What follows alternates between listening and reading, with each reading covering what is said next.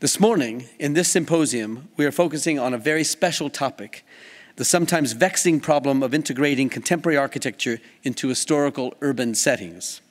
This is one of the purposes of the Getty Conservation Institute's Modern Architecture Initiative, which has been devised to bring a strategic focus to the challenges of preserving modern architecture in terms both of the materials of individual buildings and of the physical and social context for which they were built, sometimes 50, even 70 years ago. To guide us through this vexing topic, we've gathered some of the world's best and most experienced architects Tom Beeby, Juergen Mayer H., Rafael Moneo, Richard Rogers, and Denise Scott Brown, and our moderator, the Pulitzer Prize winning architectural critic Paul Goldberger. We are grateful to them for giving us so much of their valuable time and for flying from so far away to be with us this morning and throughout the day. It is a sign of their dedication to the topic and to the Getty Conservation Institute that they have come to be with us today. Now sit tight. It's going to be a day of riveting lectures and conversations, one I'm sure you'll never forget. It's now my very great pleasure to introduce the director of the Getty Conservation Institute, Tim Whalen.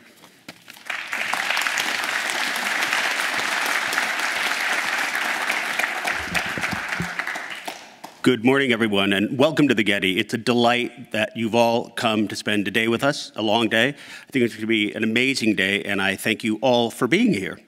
For those of you who aren't familiar with the Getty Conservation Institute, it is one of the four operating programs of the J. Paul Getty Trust, and our mission is to advance the practice of conservation.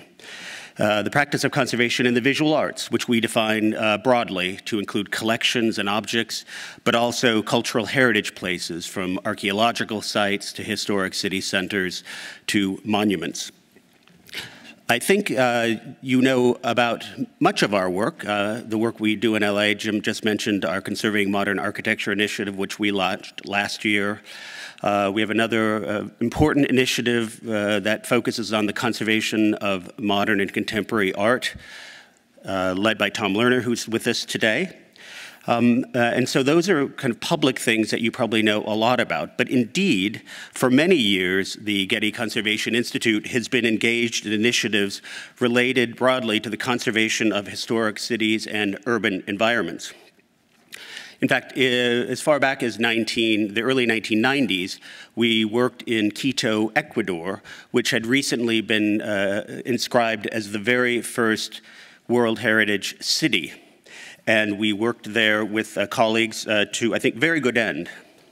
Since uh, 2005, we've been working with the Organization of World Heritage Cities, uh, which uh, and helping them organize a scientific program at their uh, biannual meetings, uh, which we'll be doing, in fact, this coming November in Oaxaca when they meet. And uh, we have contributed to designing and implementing and running for a number of years now a mayor's workshop, which brings tools to the mayors of historic cities on the list. Our current work in this realm also extends to our hometown here in LA, and we've been working with the Department of City Planning uh, on something that many of you will have heard of, uh, I hope, called Survey LA, which is the first comprehensive survey of historic resources in Los Angeles. And that uh, inventory will soon reside on uh, a state of the art, modern GIS based public interface that will be available to um, anyone who has access to the web. So, a growing number, obviously. And indeed, finally, uh, we've been working in Southeast Asia uh, in a number of places, but at the moment uh, working in Malaysia specifically with professionals there to conserve their rich heritage and bring colleagues into uh, connection with practices in other uh, places in, around the world. The issue of adding new layers to much loved historic environments is one, indeed, that has created more debate than virtually any other topic in our field in, over the last decade or so. How we change and add to the existing urban fabric is something that planners and architects have been musing about and arguing about for centuries. For example, the urban renewal plans uh, carried out in Rome in the 16th century and implemented under Pope Sixtus V recognized the legacy of ancient Rome and the political power of architecture in society when it integrated ancient buildings into the new boulevards that were carved through Rome to accommodate uh, the, the pilgrims that were coming there, in which Rome hoped to invite to counter the Reformation. In the process of these new roads, however, uh, many ancient sites were destroyed, and many citizens, even in 16th century Rome, opposed this destruction. There are many other historic examples of how our layering new over old um, have uh, affected thinking over the last century or so. Uh, everyone will be familiar with uh, the Haussmann Plan of Paris, uh, which was, as you know, fully implemented in the 19th century, or indeed recent debates about the reintegration of Berlin following the reunification of Berlin and Germany in 1990.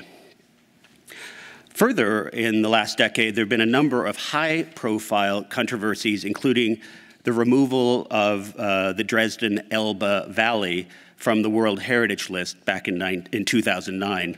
And that was owing to the building of a four lane bridge that negatively impacted the historical cultural landscape that had been identified, frankly, as the principal universal value for which that city and that landscape was inscribed. So the World Heritage uh, Committee removed that from the list. And then there's, you'll have read much in the uh, past few years about the proposed Gazprom tower that will be built in the, uh, just outside of the historic core of St. Petersburg.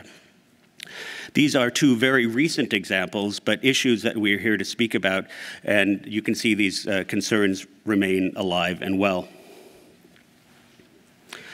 The prosperity of the late 20th century, the rise of global corporations, and the desire for architectural distinctiveness have brought this issue to the forefront. We have the heritage community pitched against architects and developers. On one side, or one side, is accused of NIMBYism and the ossification of our urban environment, and the other side is accused of careless destruction of history. Well, ladies and gentlemen, somewhere here in the middle of all of this, uh, there is opportunity for rational debate, and that's, I think, why we're all here today. Today, we hope to explore questions of how we can create tomorrow's heritage without destroying what communities cherish from the past? How can contemporary architecture contribute to the interpretation of the historic urban environment and create vibrant new places? How do architects go about creating successful relationships between existing historic fabric and new buildings? Architects are, of course, the protagonists, but policymakers, planners, and patrons of new buildings also play a role. The Getty Conservation Institute's work is international, and we are immersed in the historic environment in many, many places. However, let me say that we come with our own position on this issue, and I think it is worth being upfront about it here. Our position recognizes that it is not the style or architectural language that is important, but the quality of the new work and the relationship between old and new. There is room for a variety of architectural expressions, and further, there is room for the creativity of architects of each generation to contribute to the evolution of the historic fabric in its own way. However, I do think that it is beholden on those creators to ensure that their contributions enrich rather than diminish the existing context. During the day today, we'll hear from five architects who have been at the forefront of this debate throughout their careers. They will each present their work, and we look forward to hearing how each of them has approached this issue and how they see their work contributing to the evolution of the, uh, the urban and historic environment. Tonight, we have asked our guest speakers to join us in a panel discussion where we can explore some of the ideas that they present during today. The distinguished architectural critic Paul Goldberger will set the scene for today's symposium with his introductory presentation, Place, Time, and Architecture, setting out the issues of the day. At this evening's panel, Paul will moderate what I hope will be a lively discussion amongst the architects.